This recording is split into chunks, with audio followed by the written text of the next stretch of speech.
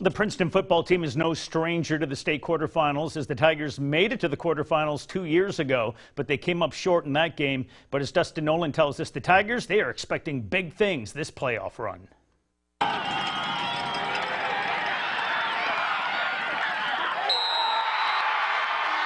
It would be hard to find a more explosive 3A team in the state of Illinois than the Princeton Tigers.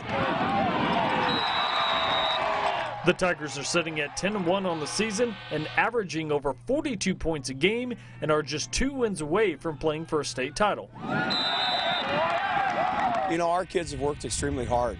Uh, you know, from the off season, from you know, once the uh, the spring season compl completed, and uh, you know everything from the weight room, you know, the the, the team nights that we had throughout the summer, um, to see their hard work and their commitment and their dedication kind of come to fruition like this. You know, it's definitely exciting not only for our kids and our program, but, you know, the school and, and this community.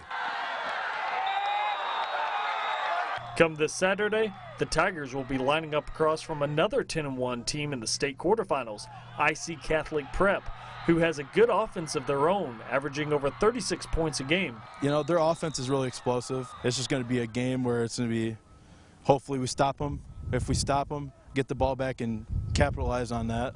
And uh, I think comes down to the end of the game, it'll be whoever wants it more in the fourth quarter.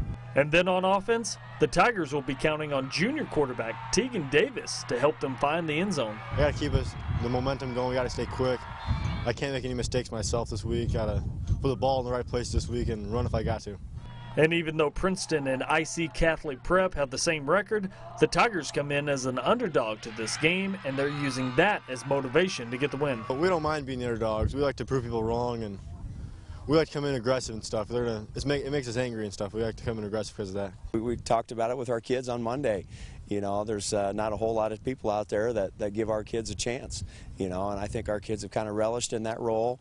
Uh, we're kind of flying under the radar. Nobody's really talking about us, and you know we just go about our business each and every day, and and uh, you know hopefully uh, you know just add a little motivation. There is certainly a lot on the line this weekend between two very good teams. Kickoff is set for 3 p.m. in Elmhurst. Reporting from Princeton, I'm Dustin Nolan, Local 4 Sports.